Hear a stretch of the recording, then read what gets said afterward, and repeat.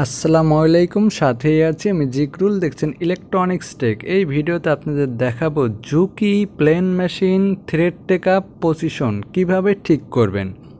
দেখতে পাচ্ছেন আমি মেশিনটি চালাচ্ছি, চালানোর পর থ্রেড টেকআপটি নিচের দিকে নেমে আসতেছে। যখনই আমি এই নাইফ কেটে দেয় মেশিনে, তখনই আমার পজিশন নিচে নেমে আসে থ্রেড টেকআপ। এই থ্রেড টেকআপ পজিশন থাকবে উপরের দিকে। দেখেন আমি সুইং করার পর পর যখন সুতাটি কেটে দেয়, তখন নিচের দিকে থ্রেড টেকআপটি নেমে যায়।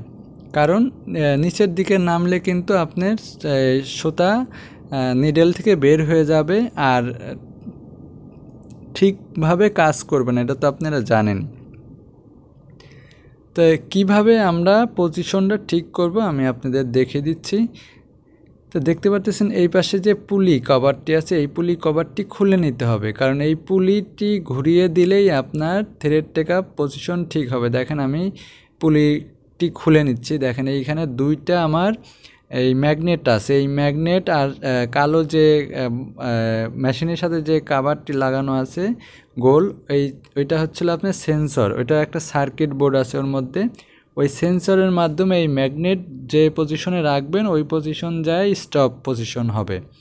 তা আমরা কি করব এখানে যে তিনটে ডট ডট চিহ্ন দেওয়া আছে ওই তিনটে যে আবার খুলে দেখাচ্ছি দুইটা ম্যাগনেট।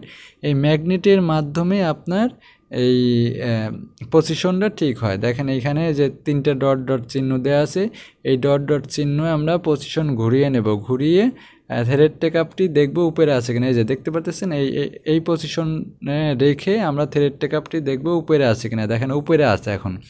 এই পজিশনে রেখে তারপরে আমরা এই স্ক্রু দুটো টাইট দিয়ে দেবো। দেওয়ার পরে আমরা বেল লাগাবো। লাগানোর পরে আমরা, আমি চালিয়ে আপনাদের দেখাচ্ছি।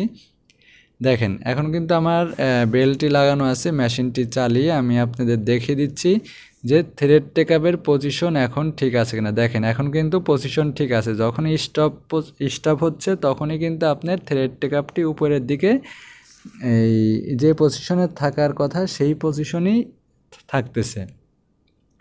দেখেন, আমি আবার এই বেল কাভারটি লাগিয়ে দিচ্ছি, ভালো করে বেল কাভারটি লাগিয়ে আমি আবার চালিয়ে আপনাদের দেখাচ্ছি। দেখেন আমি এখন স্টপ করলেই আমার থ্রেড টেকআপটি ওই উপরের দিকেই থাকবে।